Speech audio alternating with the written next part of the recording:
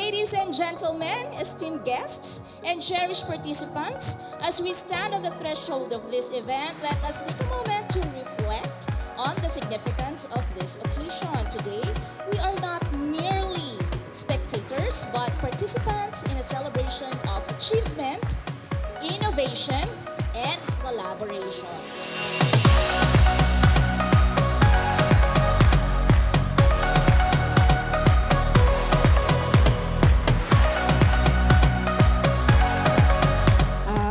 Ako napunta sa Health Code International? Dahil po sa aking mga karamdaman. Ang dahil po sa ating HCI CMD, nalunasan po ang aking mga karamdaman.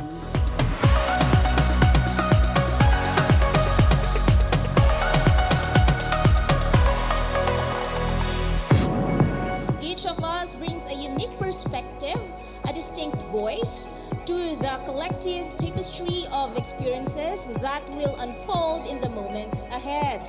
It is truly an honor to stand here before you today as we mark our 20 years of excellence and success. Palakpakan nyo naman ang inyong mga sarili.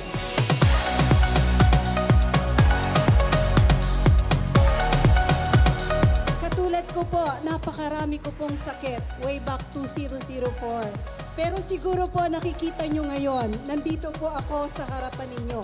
Patunay sa kagandahan ng lahat ng produkto ni Health Code International. Happy 20th anniversary HCIBs. 20 years of God's faithfulness. Ang araw na ito, hindi ito aksidente na dumating lang ng ganun-ganun lang. It is full of sacrifice, hard work, and determination of our chairman, Mr. Edward Leong. Sir, we salute you. Thank you for making our dreams become reality.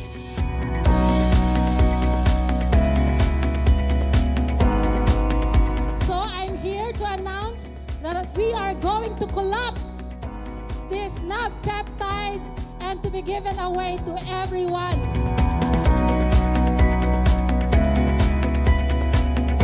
As we gather in this beautiful venue for this momentous occasion, please send forth again your Holy Spirit, O Lord, for us to be enlightened, take away all our anxieties, fears, and doubts, and let us focus on better serving you, O Lord, and following your will.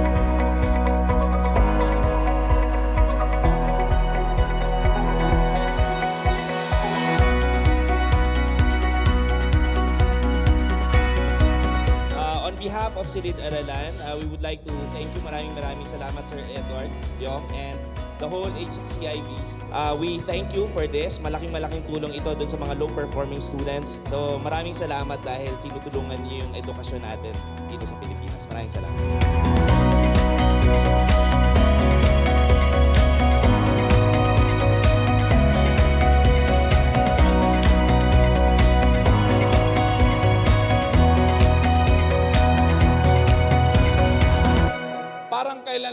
Nung bago ako pumasok, way back 2004 sa HCI, tinanong ko ang mamang ito kung ang kumpanya niya ay magtatagal sa Pilipinas.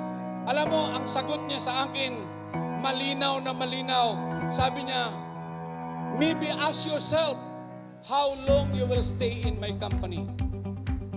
Ganun lang kasimple. Alam mo, hindi ko napansin na ngayon ay 20 years na. Dito na po natanggal yung aking buhok.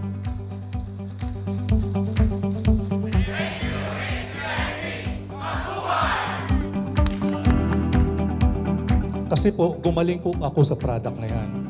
Kasi as a medical practitioner po, hindi po kami basta-basta naniniwala dati sa mga food supplement. Pero ako po mismo, gumaling ako.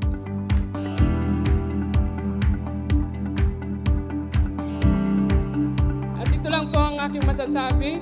Um, pag wala kang ano, action, pag hindi ako action taker or hindi ako nag-action taker, siguro wala tayong HCI sa New Zealand. So, maraming maraming salamat po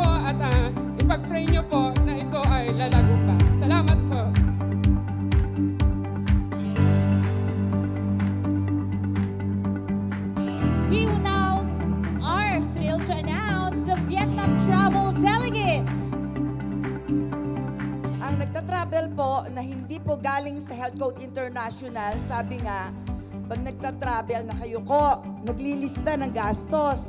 Di ba?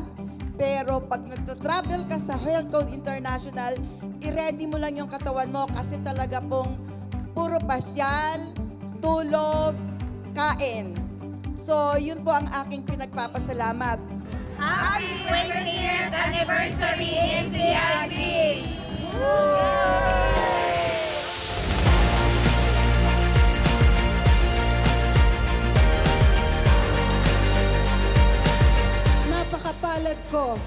dito po nagkaroon ako ng sasakyan, isang Santa Fe, no? At kagagawa lang po nung bagong bahay ko sa Bulacan. Di po ba? Kaya sa mga may edad yan, hindi po sagabal yung edad para tayo ay magtagumpay dito. Panalong panalo po tayo kay Health Code International.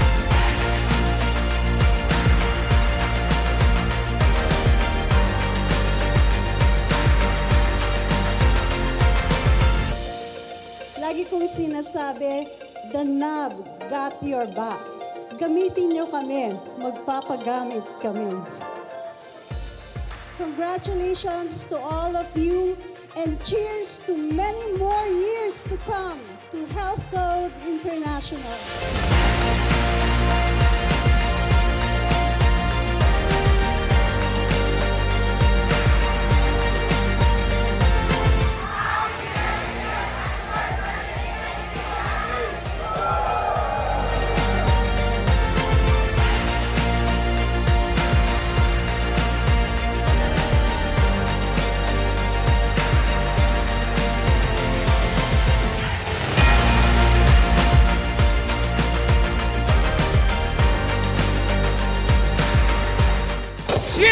Us all!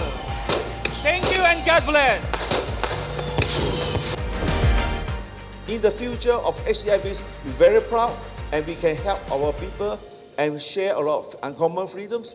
And we all continue our vision to let all the Filipino to enjoy our benefit of SCI product. And I hope all of you here, wishing you all of you here the best of health and the best of everything for the for the future of SCIBs. Thank you and selamat